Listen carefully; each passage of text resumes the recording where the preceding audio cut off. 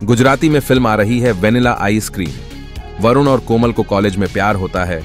दोनों शादी कर लेते हैं अपने घर वालों के खिलाफ जाकर। एक छोटी सी बात उनके परिवार में दूरी पैदा कर देती है। आगे क्या होता है? નથી માણી શકતા તો જે નથી એની ચિંતા કરવી ખોટી બેટા ઘર તો પરિવારથી થાય